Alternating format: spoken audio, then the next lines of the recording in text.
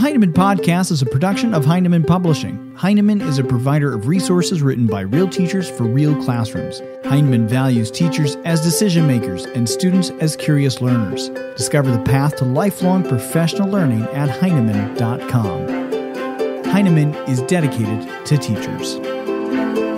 I'm Steph from Heinemann, and today we're bringing you a bonus episode with authors Sonja Cherry-Paul and Dana Johansen. Their latest book, Breathing New Life into Book Clubs, is a one stop resource for starting, improving, and troubleshooting your book clubs.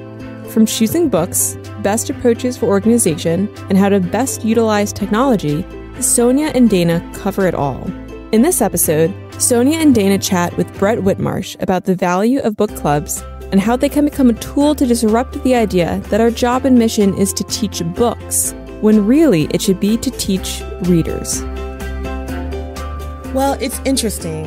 Oftentimes, we've heard teachers make comments such as, I would rather die than give up teaching The Giver, or I would rather die than give up teaching insert any text that's used by some teachers year after year after year. And what this signals to us is being mired in teaching texts versus readers this swearing of allegiance to teaching a book that you love rather than seeing a book as a model, a vehicle, a roadmap for making visible the, the reading strategies that help students to become more proficient readers. But we really see that the tide is turning on this and that teachers more and more are understanding that it's not about the book, it's about the strategies that you want students to learn.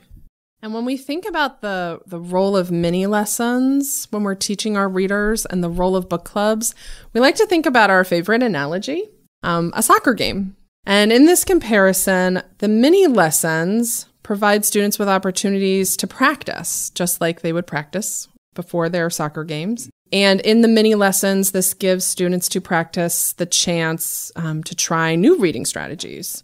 Book clubs, on the other hand, offer a way for students to get in the game mm-hmm. and be independent and work together as a team and to try out the strategies that they've been learning in practice. And we really feel like there needs to be more of an emphasis on getting kids into the game. Mm-hmm. And we believe that book clubs really provide this vehicle that Sonja was just talking about, and that the teacher's mini lessons should be short and quick um, with lots of opportunities for students to practice. And then teachers need to offer this this great time for students to be in the game and be in book clubs. And and when we think about focusing on teaching novels as opposed to teaching readers, students don't have the chance to, as Dana was just saying, get into the game. They're perpetually pinioned in practice, this lecture that they're receiving from the coach. So if you're never in the game, it looks like this. Let me show you how to play soccer without ever playing soccer. Let me show you how to read a book without you ever having a chance to read a book. And we really believe that every child can play the game. We believe, we believe in them. You know, when kids have choice and autonomy and opportunities to, you know, to play the game, if you will, then there is no bench. No kid yeah. is on the sidelines right. or perpetually in practice. And if we think about how many books students could read during the year if they weren't locked into three or four whole class novels, where they're spending weeks sometimes, maybe even months reading just one book. And also just think about how often these, these whole class novels that we sometimes swear allegiance to do not represent the children before us. And that is most troublesome that these books aren't necessarily representative of their racial or cultural identities, of their interests. And we really appreciate the way that Disrupt Texts challenges us to consider not only counter narratives in our reading curriculums, but that books that feature diverse characters written by diverse authors can and should be the narratives used in our classrooms and just how much these books have to offer all kids. So book clubs are spaces where students get to read more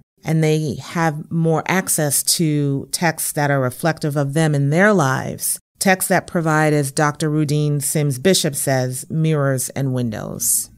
Why are book clubs valuable and how can they help build spaces where students can talk about what they're hearing and observing in the world and learn deep listening skills as well, Sonja? So Dana and I really appreciate book clubs because they break this culture of isolationism in our classrooms where each student is on their own island navigating the world. In book clubs, kids come together to grapple with the challenges they face and the chaos of the world around them.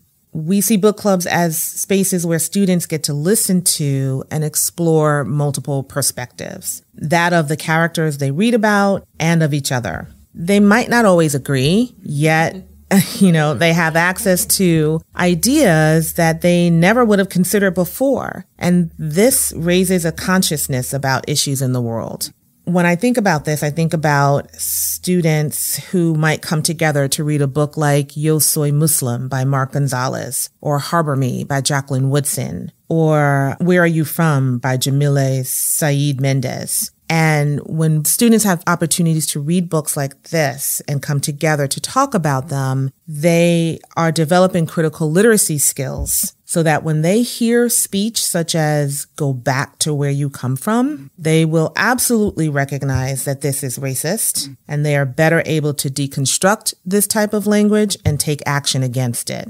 And what we really want everyone to remember is that book clubs are the students' clubs. They're not the teachers' clubs. And teachers need to step back, let go, takes a take a deep breath because that's the way it is in my classroom too.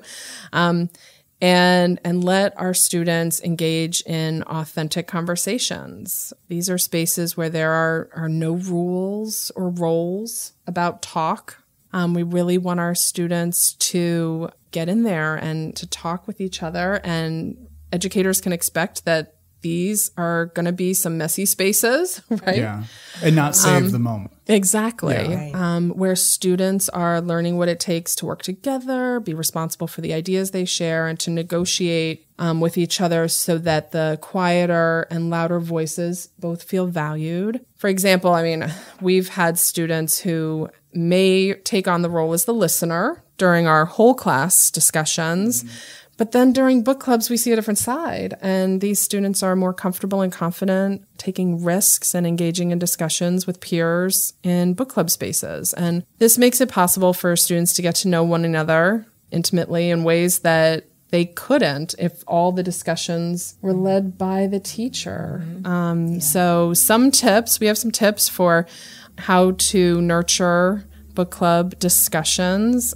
So we want to share those with you. One is one of our favorites uh, to have some practice discussions with shorter texts prior to having students dive in with their book clubs. So this could look like using a digital text, a poem, a short story, even a photo. I love using photos. These are great opportunities for students to practice talking with their peers in small groups about what they're seeing, what they're thinking about. And, and it's great to have these practice discussions before you launch book clubs. Also, we love giving our students some time to write their thoughts down oh, before yeah, they get together in their book clubs. Oh my God, yes. We find that even with, you know, three minutes, students can sit, jot down their thoughts. And then when they get to their book club time, they're ready to go. Yeah. with the, everything that's yeah. on their mind. And what so. a valuable skill to just right. have. Exactly. Just get into that habit. And I think that's pretty straightforward. There's a lot of teachers who are using post-its mm-hmm. and having encouraging students to jot, but sometimes we forget that. Yeah. And with all of the craze that we have to manage as teachers, and then it's like, oh my gosh, okay, there's 15 minutes left to the period. Get into book clubs and go. yeah. And then we're surprised when when the club is, you know, having a hard yeah. time, you know, getting its footing. Right. And rather than, you know, assigning uh, a prompt that mm-hmm. students all have to respond to, we can just extend these open invitations, right? Exactly. We can extend invitations that really become an entry point for students and can encourage rich discussions, such as, you know, simply what's on your mind about this text. And we can also have silent chats in the classroom. And we recognize that this is an oxymoron. and we might be ra- some yeah. some of you might be raising some eyebrows on Say this. more about that. Yeah. but but we promise you it's so powerful and and it really works. Sometimes the best way to get the discussion flowing is to ask students not to talk. However, we're not silencing their voices when mm-hmm. we do so. Instead, we're inviting them to express themselves in different ways, um, such as on index cards that they might jot down and pass around amongst themselves to get more responses and to be surprised by the responses they receive back. They can have a silent chat on a large poster paper or chart paper. And of course, they can even have a silent chat on a blog or a discussion board where their ideas are read in real time. And the purpose behind doing this is it gives all students an opportunity to reflect about what they're hearing mm-hmm. as they read, gather their thoughts, and get into the conversation. Model book clubs is another tip that we want to share with educators. And fishbowling discussions can invite students to just sort of take note of the moves of another club and bring those moves back to their own. Teachers can set this up within their classroom where one club is in the fishbowl and students are, are just sort of listening in and watching them have a discussion. Or they can reach out to a colleague who also teaches the same grade or maybe one grade above and arrange an in-school class trip, if you will, mm-hmm. to bring students to watch another club in action in another classroom. And when we do this, students become researchers in this experience, thinking to themselves, what is this club doing that I'd like to do mm-hmm. in my own? Yeah. You know, as a result of all of this, we believe that you'll see students that are more engaged in their discussions and that book clubs become spaces that students are just excited and dying to get to. Our thanks to Sonja and Dana for their time today. You can keep up with their work on Twitter at LitLearnAct and learn more about their book at blog.heinemann.com. As always, thanks for listening.